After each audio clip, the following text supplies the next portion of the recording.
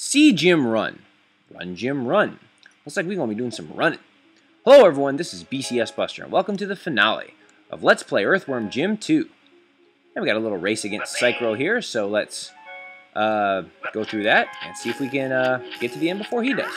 Now, you're not going to be able to do a whole lot of damage against Psycrow, and that's not really the objective here, because he doesn't really have a health meter. Um, but you just need to get to the end before he does, and beat him in a race. So, um, yeah, just keep on moving, and we should be okay.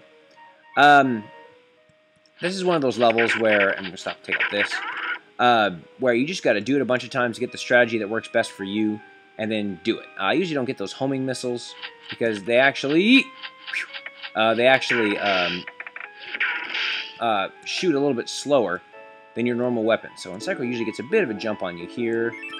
Now this mucus one is tricky and you want to stop because that one will launch you right into uh, a cavern if you're not careful. So just watch for that and uh, you should be okay. Alright, we're doing good. Yeah, we're doing good. We're moving nicely here. Take that. avoid, uh, there we go. Good. Uh-oh. Yeah, I lost a little bit of time there, but that's okay. You generally want to get all of the uh, the mucus, or the, you know, swing on all the mucus ones. Okay, now this part's a little tricky, so you want to stop, shoot, take those down, and then parachute to get over the other side. And avoid the balls at the end. Ah. All right, nice, nice, nice. Come on, come on, come on, come on, make it. Yes, we did it.